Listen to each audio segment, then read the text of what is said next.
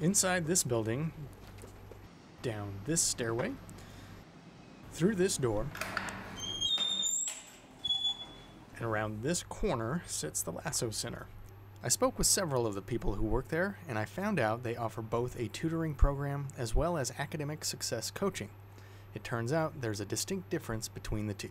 Individual, we're really big on that. Michael Seaman is a coordinator for Lasso, and he explained the difference between the two programs. A tutor is going to sit down and help you understand the methods and means of, of what you need to know to understand the material to pass that specific class. Uh, whereas coaching is a bit broader. We really focus on that word success and how the student uh, defines that term. The staff interact with students one on one and are available both day and night. Scott Alexander is another coordinator in the program. He says he's encouraged by the increased popularity of the Lasso Center. Um, well over 100 uh, students coming in daily uh, for individual one-on-one appointments.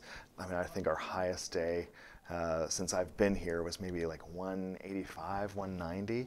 Alexander says there really doesn't seem to be any downtime for their staff.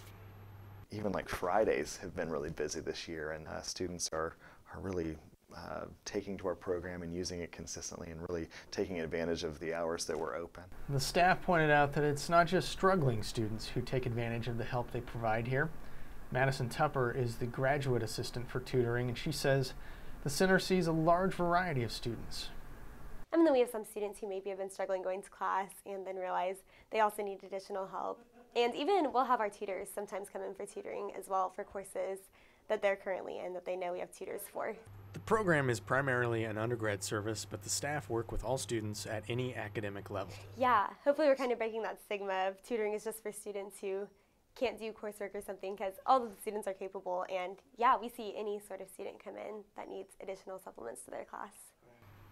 If you need help pulling your grades up or need to perfect some life skills outside of the classroom, drop by the Lasso Center. The tutors and coaches are well trained and ready to help. Before you know it, you'll be going past this corner, through this door, and up these stairs to a better you.